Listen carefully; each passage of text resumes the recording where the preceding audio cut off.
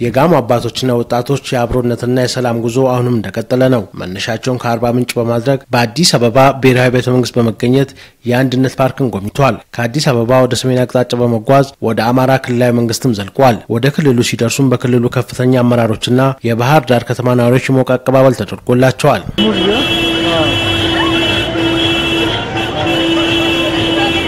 የጋሞ አባቶች የባህር ዳር ከተማን ተዘዋውረው ከጎበኙ በኋላ ከክልሉ ከፍተኛ አመራሮች ጋር ቆይታ አድርጓል። የአማራ ክልላዊ መንግስት ባህል ቱሪዝምና ስፖርት ቢሮ ኃላፊ ዶክተር ሙልቀን አዳነ ባደረጉት ንግግር የጋሞ አባቶችን የሰላም መንገድ በመከተል የገጠሙንን ችግሮች መሻገር እንችላለን ብለዋል። ለሀገር ሰላም፣ ለህዝቦች መቀራረብ፣ ለህዝቦች ፍቅር ለምለም ቄጠማችሁን ይዛችሁ ከአርባ ምንጭ አዲስ አበባ ተጉዛችሁ የሰራችሁት ታሪካዊ ስራ እጅግ የሚያኮራን ወደፊትም ችግሮቻችንን በሙሉ በእናንተ ድጋፍ እንደምንሻገር ያመላከተ ትልቅ ተግባር ነበር።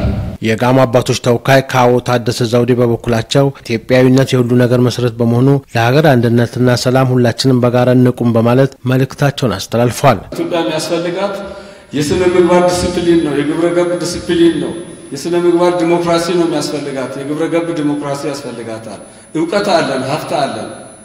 አባቶቻችን ጥሎ የሄዱት ለእኛ ቀርቶ ለዓለም የሚበቃ እውቀት አለ። ዓለምም ከኛ እየወሰደ ነው፣ እየመነዘረ መልሶ የሚሰጠን እያብለጨለጨ።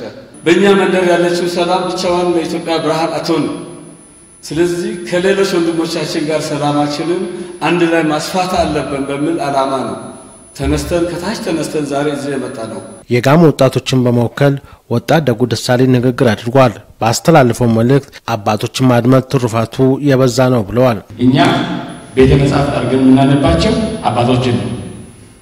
የባህር ዳር ወጣት፣ መላው የአማራ ክልል ወጣት፣ መላው የኢትዮጵያ ወጣት አባቶችን እንደ ቤተ መጻሕፍት በማንበብ ከአባቶች በሚሰማው ምክር ኢትዮጵያን እንዲያሻግር አሁንም እማጽናለሁ። የአማራ ክልላዊ መንግስት ምክትል ርዕሰ መስተዳደር አቶ ተመስገን ጥሩነህ በዚህ ወቅት ባደረጉት ንግግር የጋሞና የአማራ ሕዝቦች ኢትዮጵያዊነት ላይ ጽኑ እምነት እንዳላቸው በመጥቀስ ይህን አጠናክሮ ይቀጥላሉ ብለዋል። እንግዲህ ነገ ከነገ ወዲያ የጋሞ አባቶች የባህር ዳር አባቶችም ስላሉ የልምድ ልውውጥ አድርጋችሁ የባህር ዳር ወጣቶችም የባህር ዳር አባቶችን ይሰማሉ።